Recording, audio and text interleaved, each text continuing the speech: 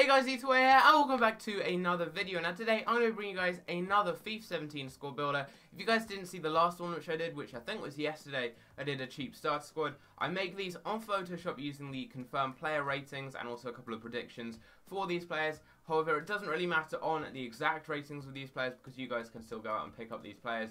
And let's say, for example, one of the players who I think is going to be a gold player turns out to be a silver player, or maybe turns out to be a rare player, so it's slightly more expensive. I've got a whole load of different players you can use in different positions at the end of the video that I'll show you just in case there are any issues with this. But uh, yeah, it's a really good team, and it is in the 4-1-2-1-2 formation, and it's a BPL starter squad. Uh, a lot of you guys did comment down below on the previous video that you wanted to see a cheap BPL starter team. And again, comment down below what type of teams you want to see next, so what type of budget, maybe you want to see a non-rare team, the best possible team, something like that. Comment that down below, and if we could smash 50 likes in the video, that would be insane. You guys smashed over 50 likes in literally just a couple of hours on the last video, so thank you guys so much for that really does mean a lot because I put a lot of effort into these videos. So without further ado, let's go on into the squad builder. So as you can see, the formation I'm using is the 4-1-2-1-2. It's a formation which is always good on FIFA. A lot of people do use it, and it's a great formation. And in goal, I've decided to go with Ben Foster. Had a good start to the season with West Brom and should be a cheap keeper for under about 1,000 coins.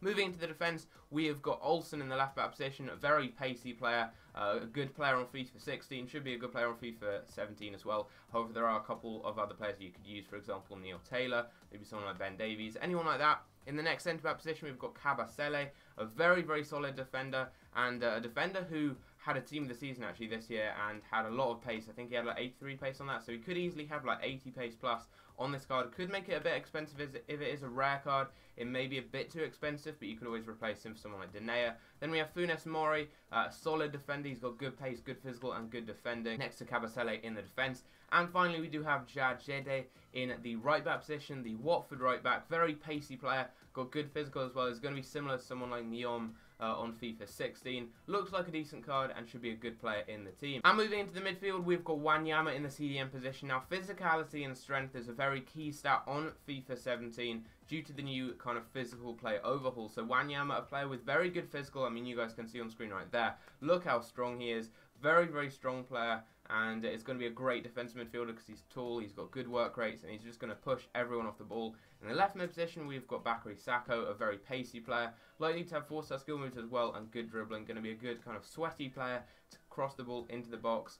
Uh, because you can uh, head the ball now with a couple of different options like the downwards headers. So headers are more effective. So Sako is going to be a good kind of pacey player to just go to the wing. Then we've got Dyer in the right mid position. Again, a very pacey player, around 90 pace. Very, very good agility and balance stats, near to someone like Messi, some of the highest agility and balance stats on the whole game. He is a great player on FIFA 16 and should be a good player on FIFA 17 as well. In the cam position, we've got Lanzini, a very good player again on FIFA 16, a good cheap player, and on FIFA 17, he's probably going to have a slight upgrade because he had a really good season last season for West Ham. And he did also play for Argentina, I believe, in the uh, Olympics. But uh, yeah, going to be a decent card. Four-star skill moves, good pace, good dribbling, and uh, should also have pretty good free kicks and long shots as well. Now, moving into the strike force of this team, we've got an absolute beast in Wilfried Bony. I mean, you guys can see his card on screen right there. Look at that physical stat. 85 physical, 82 shooting as well. He's one of the strongest players on the game. I think he's the fourth strongest player on Ultimate Team. Uh, so that is a very, very good stat right there. Very strong play. He's going to just push defenders off the ball. Uh, he's going to be a really good finisher in the penalty area as well. And he's going to be winning headers. Great player to hold the ball up. And next to him, what I really do like using on FIFA 16 and should also work on FIFA 17, is a strong player next to a much kind of quicker player who's good at dribbling. And uh, we have got Enner Valencia as that quick player. Great dribbling, great pace, and uh, pretty good shooting as well. Going to be a decent player. Transferred to Everton as well. Looks like a tidy card there going to be a decent player to play next to Bony. So moving into the potential replacements for the players in this team, we've got Fellaini as uh, a new CDM instead of Wanyama. A very similar player, a bit slower, but a bit stronger as well. Very, very strong player. Going to be a solid CDM. Then we've got Welbeck. Now he's strong, he's good in the air, and he's quick. He will probably be like 5k though because he does play for Arsenal. But if he is a non-rare card, could be a bit cheaper and going to be a decent player for you guys to use in your star teams. Then we've got Abel Hernandez, very pacey player, going to have over 90 pace, and he's probably going to be a low-rated gold player, playing for Hull, and because he does play for one of the worst teams in the Premier League, he's not going to be too expensive because it's quite hard to link him to other players. Also, there aren't many Uruguayan players who do play in the Premier League, so he's going to be a quite hard player to link up, except if you do build a, a BPL team, which is what we are doing obviously right here, so should be quite cheap and going to be quite good player as well. And moving into the slightly cheaper non-rare options, we've got Nathan Redmond as a different right mid instead of Dyer, if Dyer's a bit more expensive due to his pace. Uh, Redmond, going to have a decent card, you could also maybe use someone like Antonio, uh, however, he is going to have a rare card, so he's going to be relatively more expensive. However, Antonio looks like an absolute beast. If you haven't seen Spencer FC's video on him, go and check it out because it does reveal his stats. He's got some amazing stats.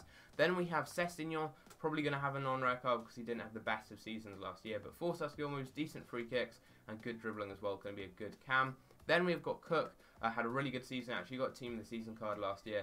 Going to probably have a low-rated non-rare centre-back card. You could also use someone like Denayer, uh, maybe someone like John Stones. There are a lot of different options at centre-back, but I decided to go with Kabasele and Funes Mori in my main team with Cook as an option on the bench. And the final option is going to be Johnny Evans.